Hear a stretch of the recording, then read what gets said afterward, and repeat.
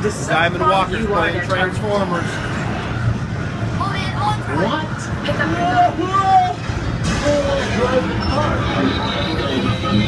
whoa.